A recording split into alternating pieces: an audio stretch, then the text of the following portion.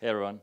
Uh, yeah, I'm, I'm from Slovenia, uh, but I spent my winters in Canary Islands. Um, and instead of fixing preventable bugs, I prefer to be on a beach like this. Um, so I've developed over the years uh, an ability or tools that uh, find that help me find preventable bugs in our code or in our processes, and this is what I'm going to share today. Just a few of those.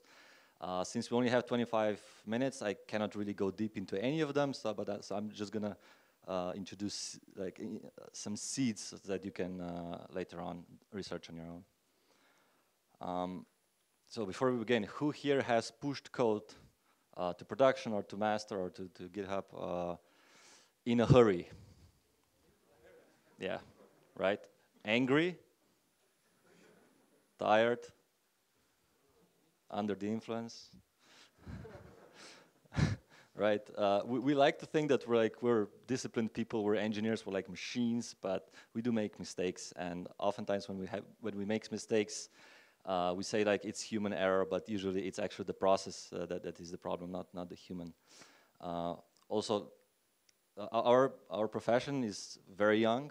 Uh, we, so software engineering has only been in existence for like, what, 60 years maybe? And there's more than 20 million software developers. Uh, any idea how we get from zero to 20 million in a span of 60 years? You have to double every few years. so, you know, there are now twice as many software developers than there were, let's say, three years ago. Uh, that means that by definition, half of our community is inexperienced and we cannot rely on them being disciplined, experienced developers because they just didn't have the time. Or maybe if you say that someone needs five years to be experienced, it's actually three quarters of our community. Um, so yeah, let's not rely on discipline. Um, 10 years ago, I started working on an open source project. We were building an API for a, a Python CMS called, called Plone. And back then, I instead like I put in place policy that we're going to document all our methods uh, in this way. This was way before typing existed. Existed, and we said like every every function needs to every API function needs to have documentation of what it returns, right? And the the project has been super successful. I haven't touched it in I don't know seven eight years. It's been merged into Plone core, and every Plone installation has it these days. Uh, but still, I found one function in there today that still doesn't have that document the, the, the doesn't document the, the return value. Uh, and so there has been more than 60 contributors to this project. They're all experienced, and it's been 10 years, and nobody noticed it. So to hell with discipline. Even though we said we're going to be disciplined, we're going to document all the, all the functions, we didn't. Um,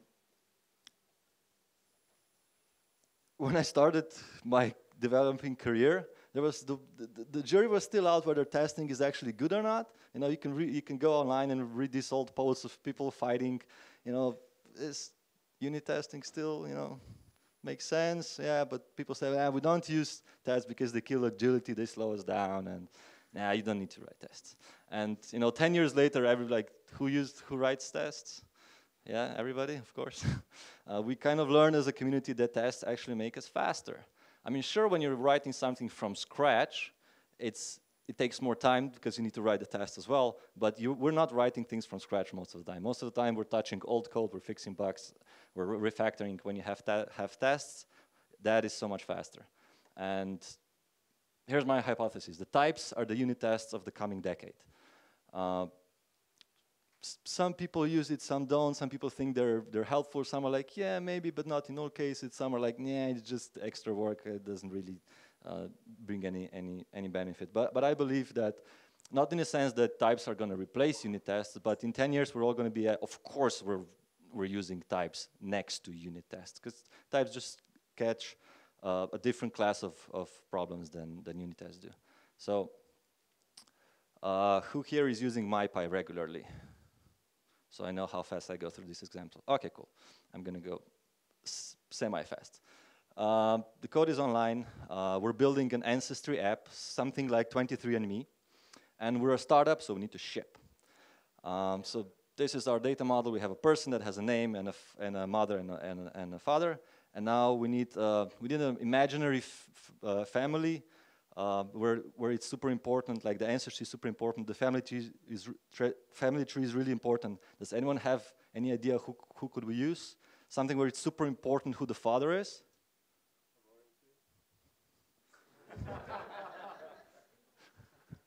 so we modeled the Star Wars family tree with our, with our classes. Uh, we write tests because we're disciplined developers. Uh, and this is our code base. It's, it's one file, you can, you can get it online. I split it here so it fits into slides. Uh, and then we run tests.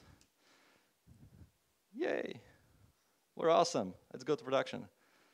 Uh, and then someone gets Han's grandparents and poof, what happened? Like we we wrote 100% tests. What what's going on? Um, yeah, let's see if types help. So since Python 3.5, we've had a core uh, library called typing, and we use that to uh, to document the types of attributes and parameters in our Python code.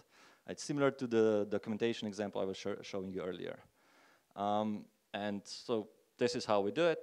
Uh, T dot optional, so optional means that the mother can be a person or a none. Um, and, and that's it. So we say mother can be, can be set or not, uh, father can be set or not, and that's it. Again, this is our entire code base. The, the, yellow things are the changes that we've done. It's not a lot, few characters. Uh, we run MyPy, and we get this error. I'm just gonna show it here so it's in the same place.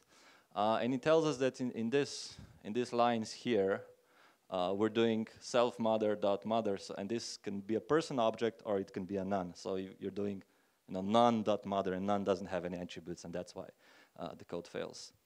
Uh, so MyPy discovered this bug, hopefully before it was in production. In our case, we were already in production, but yeah, uh, you know, uh, we fix our code to to only append to grandparents if if these person objects are set. Um, run the tests again. Cool. Because we added a new test because we saw that there's something missing. Um, and now some annoying user tries to get to get Kylo's grandparents. And I'm not sure if this bug is better or worse than the one before. You see there's two names and there's a none and a none. Uh, because the previous one blew up in your face and you noticed it. This one could go unnoticed for quite some time. Um, so the typing library is not only for documenting uh, parameters and attributes, but also return values. Right? The same thing as I was showing you before in the, that uh, API documentation. It's just now it's in the code and it cannot get outdated. And what we're doing here is we're saying that uh, this method returns a list of persons, right? Because if I'm getting if I'm getting grandparents, I want to get person objects. That's the old change we did, nothing else. We run MyPy, and we get an error. Again, I'm going to copy it over. Uh, and we say we get incompatible return value type. Right, so MyPy says that we told them that this function or method will only return a list of persons, but because this can be a person or a none, we're actually returning a list of either person or none objects, and this clashes with what we're saying that uh, we're returning. Uh, so we fix our code. We're, we're only appending a person if, if it's not a none. And add a test. And that's it. Uh, and then time goes on, we had, we had to add the JSON, uh, JSON function, you can see it here. Uh, but now before I actually, before I push to production, and again, we get user-facing bugs, let's see if we can stop relying on us being very experienced and, experienced and disciplined developers and, and figuring out where type annotations are missing, let's ask MyPy, hey, is there something else that I should annotate? And you can that you can do that by do by calling MyPy with strict. Get a bunch of errors or warnings, and that's the final result. Um, as you can see, like we went from completely no documentation for the code. We actually went for to completely documented code. All the values in, the, in your code are documented, and this is always up to date. It's not like it's in a doc string and it's gonna get outdated when someone forgets to update it. Um, MyPy, big thumbs up, use it. Um, and the mess is you know, far bigger than just maybe some docs. Uh, there's, I found a paper that that claims that uh, about one in five genetic research papers are completely invalid because Excel converted uh, gene names into dates. Like imagine the amount of money and research money and time spent on a stupid typing conversion mistake. And yeah, there's there's a talk by Airbnb and they claim that 38% of their bugs, production bugs, could have been fixed by typing. Mm, so this was the original title of my talk. Documentation is bad, okay? Um, but I was sure that I was not gonna get accepted at all. uh, so I'm trying to convince you today is to not write documentation, right?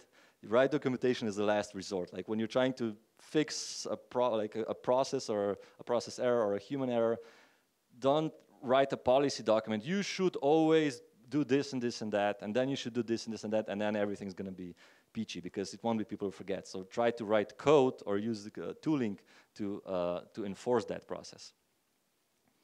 And at this point, is there more documentation? That we just deleted documentation in docstrings, right, about the, the, the types in your code, because that's now completely covered by MyPy and tooling, and it's up to date and it's tested.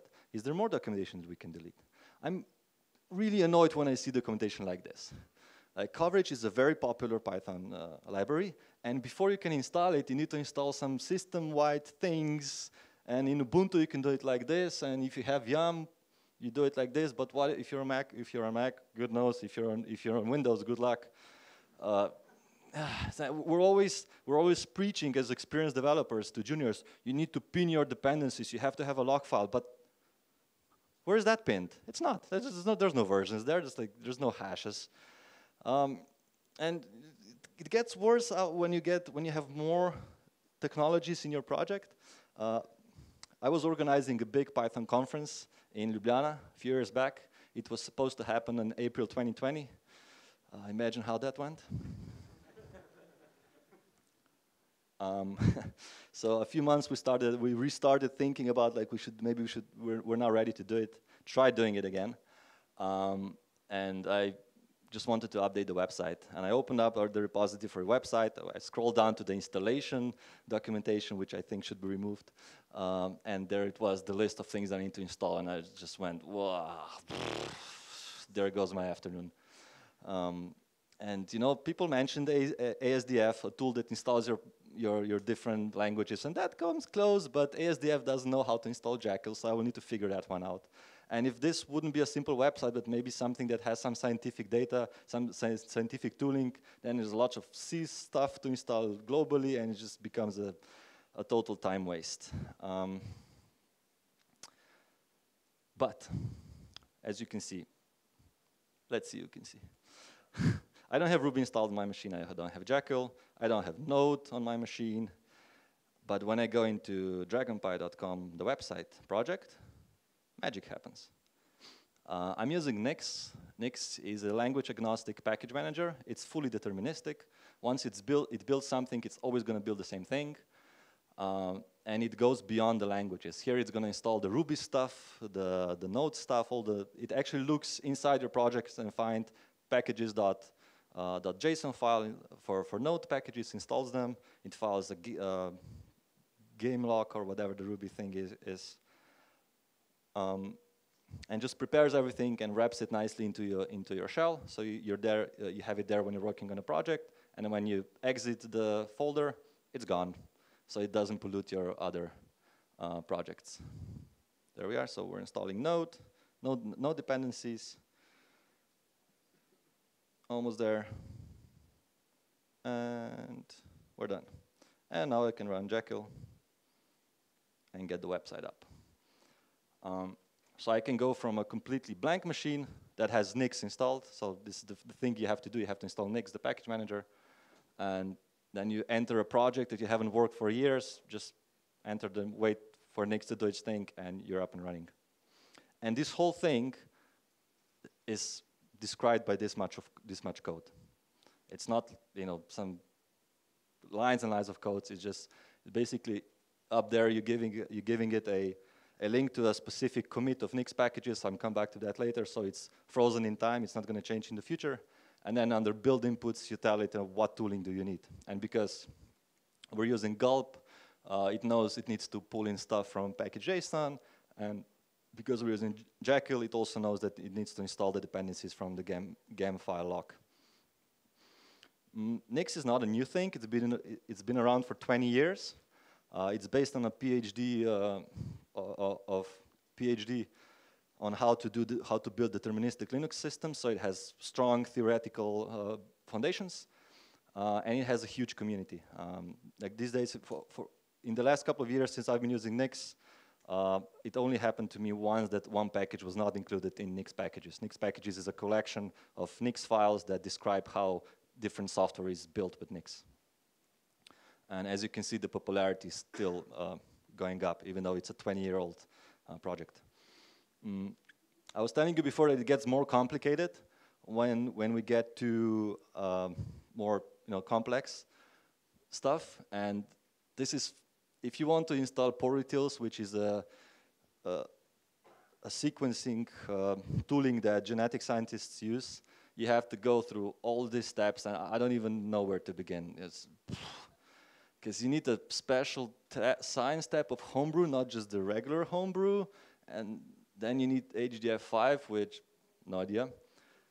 Cython and NumPy are always fun to install. And then at the end, there's something about R and getting automatic installation from CRAN website. Yeah, I don't know what that is.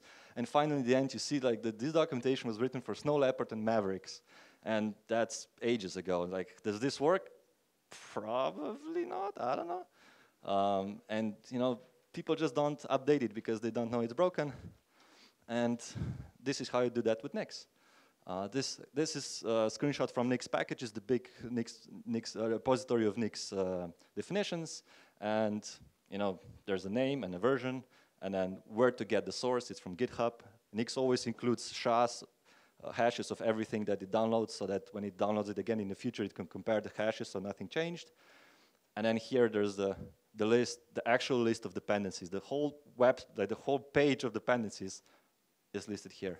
And it's completely frozen in time.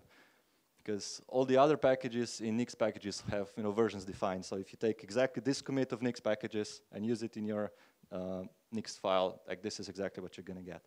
Um, I've transitioned my company, so we're nine people, 15-year-old company. I've transitioned, we've transitioned to, from using Ansible and Homebrew and PyEnv to, to Nix in the last two to three years. And there's a whole class of problems that I don't have anymore. Um, it's, it's amazing how much more time I have these days. Um, because yeah, just don't happen anymore. Like I used to, I used to have to, because I work on many projects, old projects, and different languages, different stacks. About every once in three months, I would have to just like, yeah, this is completely broken. Re remove everything, reinstall everything from scratch, because just there's something somewhere that's polluting some other project, and yeah, with Nix that doesn't happen because it's completely separated. Um, if that piqued your interest, I wrote a blog post on how to go beyond requirements TXT using Nix. And let's move on. So, so we removed documentation for you know, some code documentation, we removed installation documentation. There's another document a lot of companies and teams have, which is a security policy. Everybody on our team should have this encryption. Everybody on our team should uh, their screen should lock after 20 minutes of inactivity. We had this as well. Um, but then uh, I realized that, you know, I really care about security. I have all this, but does everybody on my team have it? I don't know. Um, and there are tools to enforce these things, but then basically you need to you need to get root access to all the machines, and not everybody you know is would likely give you or give someone root access to their machine. So we needed something super light, read-only. Uh, so we actually created it for ourselves. This is Pareto Security, our newest project. It's if, if you use a Mac, you should really try it out. Uh, it lives in your menu bar and just checks that you have the basic security features enabled. Mac, Mac OS actually comes with a bunch of really nice security features, but for one reason or another, people have them disabled. And this reminds you to enable them, please. Um, and then you can also set it up in a way where it sends this information, just the, like nothing, no tracking, no anything, just the, the list of failing checks and the list of passing checks. It sends to a web dashboard, so you as a uh, you know, team lead can see that everybody on the team has uh, passing checks, and you can be, you can sleep well. So yeah, paretosecurity.com and use PyCon IT for 30% off. It's only valid for a week, so make sure you do it fast. Uh, right. Another class of, of, of problems that uh, usually have been documented and can now not be documented anymore is, is how to sync backend and, and front end. Um, there's, you know, there's this API specification called OpenAPI. I made a big, uh, long talk about it uh, a few years back in Ferrara, not, not, not far from here, so I'm not going to bore you with that one, but I'm going to show you what it enables us.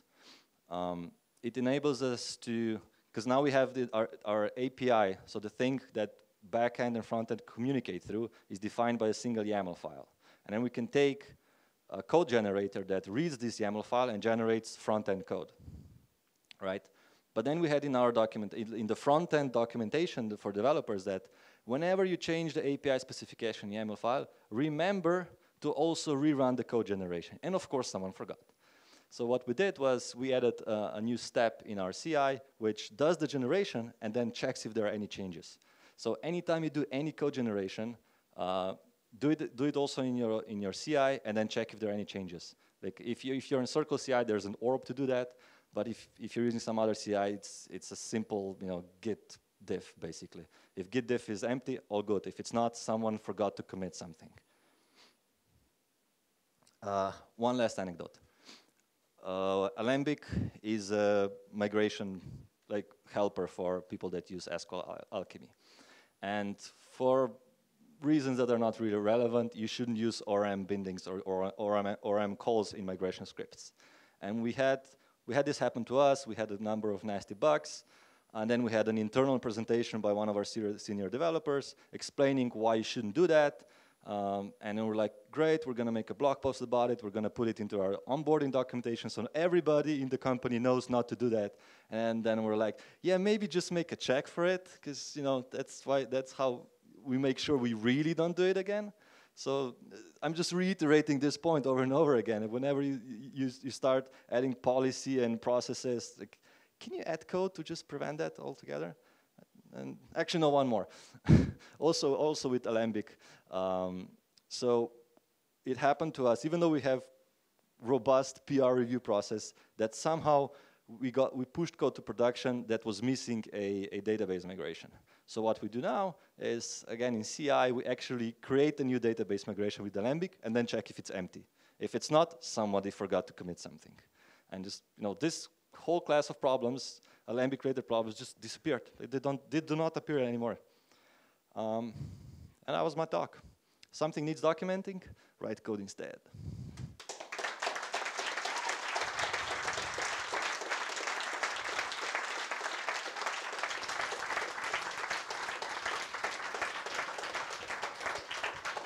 So thank you very much. Thank you very much. We have eight minutes for question answering. So I will start with the first one. So what about documentation for installing an IX, Nix? Uh, so installing Nix is what happens like once, and there's official documentation for that. You don't need to write that. So you install Nix, you go to, uh, I forgot what the domain is, but nixos.org, I guess. Yeah, nixos.org, and there there's instructions how to install it on various operating systems. Yeah, I should have moderated the, the, the question first. That's fine. So, do you know uh, do you know of any performance impacts of typing? Okay. Uh, so, performance impacts of typing uh, during development time, I, I find that for, for, for, our, for our use, the types are about 10 times faster than running tests, so I don't worry about them. Uh, in terms of in production, as far as I know, types are ignored uh, during runtime by, by CPython, so there's no impact there. It's like if you do have comments in your code, they're just ignored. Would you suggest building all Docker images for production usage, using Nix, pros and cons, or it is mostly for local development? Uh, so we do, uh, that, that's, the, that's a great point about Nix, because you have a single, or I mean, you can split in different files, but you, basically have a single source of truth for, for all your dependencies.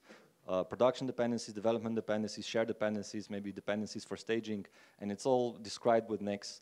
And then you can, in, in, your local environment, you say, this is a local environment, so I need development dependencies. And you can say, well, now I'm building a doc production Docker image, just take the production uh, dependencies. And the benefit that Nix has here is that uh, Nix actually uh, discriminates between build time dependencies and then runtime dependencies. So for example, even if you need GCC to compile your production uh, dependency, Nix will know that you don't need GCC as in, uh, to run those dependencies. So the result will actually be very small, much smaller than traditional approaches. So yeah, definitely do it. So why should I use Nix instead of Docker Compose? And I suppose, I mean, also Docker in that case. Yeah, I, I had a slide, but I wasn't sure if, if yeah. it's going to fit, so, so I, I, can address it now. Yeah, um, do it, please. We have time. Yeah. So Docker gets quite close. The problem with Docker is that um, Docker images are not really, uh, they're still mutable. Even though you think they're not mutable, they are mutable. Sometimes it changes. And it, it, it has happened to us where we used an official Ubuntu um, Docker image or Python image, and we were using some machine learning stuff, and all of a sudden the results were different. And I'm like, no, nothing, like I went through the logs, nothing changed, it's exactly the same code. And then we found that Ubuntu issued a security bug that patched some C library and that actually changed the output of our, of our model. It was insane. Um, the other problem with Docker is uh, it's a full virtual machine, so you need to do security for, for that. And I mean, not full virtual machine. It's a container. It has it has networks. Uh, there are some security implications for for that. But uh, like I said, we do use Docker in production, but we just build a Docker image with Nix. So Docker and, and Nix do work together. In terms of development, I really like to use my own shell, and I like to my laptop not to be overheating, and so you know, running a Docker next to on a local machine, yeah, it's, it's it works, but you know, it's not ideal at least uh, in my opinion. Uh. Well, yes, Docker uses the the processes. Yeah, yeah. And uh, let me moderate. Any new? Okay. ParetoSec is just for Mac. Yes, just for Mac. No. Yeah, if, I mean, you can convince me to support Linux as well. Windows, I don't know. No, nah. If there's some cash commitment, then yeah. For Linux, I just need a couple of, you know, just requests. um, okay, let me read it first. Are there any checks you wish you had, but it's too hard to automate, so you still have policies? Uh, is that clear? Yeah. Okay. Yeah, there are. Um, uh, I mean, we're adding more and more because we started with 100, so we, we have been requiring 100% test coverage since 2014. Um, and then we, at some point a few years back, we kind of added 100% types coverage, but that doesn't really work well. Um, so there's, there's, there's lots of stuff that still needs to happen in the, in the typing space to be able to really, really have like a, a CI step that would fail if if not all types are present, especially when you're dealing with dependencies and you have like um, maybe a web framework that has 50 dependencies and not all are typed, then it's kind of, uh, yeah, you can't really cover everything. So, but the Python as a community is moving towards that. So um, I'm hoping in a few years it gets, in a few years it gets better. Okay. Um, yeah. And is testing with MyPy considered enough or you need other type, type validation with other software, example, uh, Pyright? I do not know the answer to that question. Okay. So I use, I've only used MyPy so far. Um, if someone has opinions that it's not enough and Pyright should be used as well, please speak up, because I'm interested in that, or find me later. So questions from the app, they're over. But I have a question. Do mm -hmm. you, mm, you showed the MyPy strict uh, argument, mm -hmm. and uh, do you use it like as a pre-check for for for for simple projects you can use it but like i said if you have a big project with lots of dependencies then it kind of reports too much stuff. So you have to use certain flags to limit uh, how many you know warnings it it produces. Because ideally you want it ideally you want it to configure in a way where there are no warnings and you you make this like a baseline in your in your CI, and then over time you you uh, remove some of those ignores out, and then there's no, but you still had ha still get the same you know zero warnings because zero warnings prevents you from introducing warnings uh, into into the system. Of course. Yeah, um, yeah, it's not ideal there. We're we're, we're moving there. Okay. We have one minute. Okay. Yeah. on the subject of what you asked, uh, really, really simple, stupid thing you can do is like you basically line count the errors and just ensure that the number doesn't increase with time. Yeah. Uh, I was searching for Nix before you said it's only for Mac, and I found NixOS, Linux support. It's different stuff. Uh, the, the question was Pareto security if it's only for Mac. Oh, okay. Yeah, but. Nix runs on everything. Yeah. Oh, okay. Yeah. Sorry, my Hmm? fault. I haven't tried on Windows. I'm sure someone has. So we are on time, and thank you very much.